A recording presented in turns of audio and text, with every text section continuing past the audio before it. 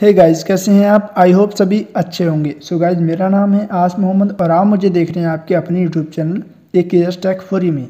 ए के एस टैक फोरी में आपका बहुत बहुत स्वागत है। सो so गाइज़ आज की इस वीडियो में हम बात करने वाले हैं how to enable one hand mode in Vivo Y twenty A Vivo Y twenty A में आप वन हैंड मोड कैसे इस्तेमाल कर सकते हैं?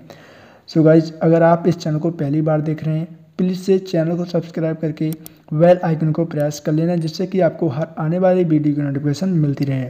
सो so गाइज़ अगर आप वीवो बाई ट्वेंटी की आपको और वीडियोस देखनी है तो आप हमारे चैनल पर जाकर चेक कर सकते हैं। हमारे चैनल पर आपको वीवो वाई ट्वेंटी ए की और भी बहुत सारी वीडियोज़ मिल जाएँगी।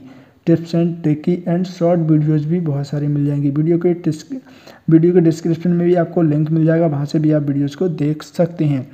So guys without any waste time let's को स्टार्ट वीडियो यहाँ पर आपको नोटिफिकेशन बार में जाना है और नोटिफिकेशन बार में जाने के बाद थोड़ा सा स्क्रॉल कर लेना है और यहाँ पर आपको मिल जाता है ये पेंसिल का आइकन तो पेंसिल के आइकन पर क्लिक कर लेना है। नेक्स्ट यहाँ से आपको मिल जाती है स्मॉल स्क्रीन तो इस स्मॉल स्क्रीन पर जैसे प्रेस करते हैं तो ये आपकी वन हैंड मोड में इनेबल हो चुकी है।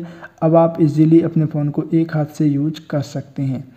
सो so गाइज़ अगर आपको यहाँ पर इस तरीके से स्वाइप करते हैं और बैक आते हैं तब भी आप वन हैंड मोड कर सकते हैं अपने वीवो वाई ट्वेंटी ए में, जैसे कि आपको यहाँ पर स्वाइप करना है और बैक चले जाना है। तो इस तरीके से आप इसके सॉरी स्मॉल कर सकते हैं अपने स्क्रीन को।